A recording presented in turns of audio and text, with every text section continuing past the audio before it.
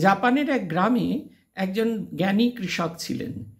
তিনি সবসময় বলতেন যে সবই ঈশ্বরের কৃপা। একদিন তার একমাত্র ঘোড়াটি জঙ্গলে গিয়ে হারিয়ে গেল।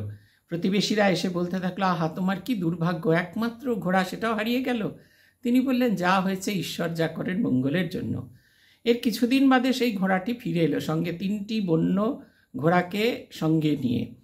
সবাই বলতে থাকল, আহা, তোমার কি আনন্দ? একটি ঘোড়ার বদলে তুমি আরও তিনটি ঘোড়া পেলে? তিনি বললেন, যা হয় ঈশ্বরের যা কৃপা। কিছুদিন বাদে সেই বন্য ঘোড়াকে বশ করা করাতে গিয়ে কৃষকের ছেলেটি ঘোড়া থেকে পড়ে গিয়ে পাটা ভেঙে ফেলল। সবাই বলল, আহা, তোমার একমাত্র জোয়ান ছেলে, তার পাটাই ভেঙে গেল? তিনি বললেন, ঈশ্বরের যেমন ইচ্ছা। তারপরে এক মাস বাদে রাজার সেনা থেকে লোক এলো, দেশে যুদ্ধ শুরু হবে। তাই সেনাতে ভর্তি হওয়ার জন্য গ্রামের সব অল্প বয়সী ছেলেদের তুলে নিয়ে গেল। শুধু এ ছেলের পা ভাঙা বলে একে ফেলে রেখে গেলেন। সবাই অবাক বিস্ময়ে তার দিকে তাকিয়ে থাকলেন। আমরা অনেক সময় আমাদের মনোমতো পছন্দ না হলে, কোনো কাজ বা ফল না পেলে আমাদের বড্ড মন খারাপ হয়।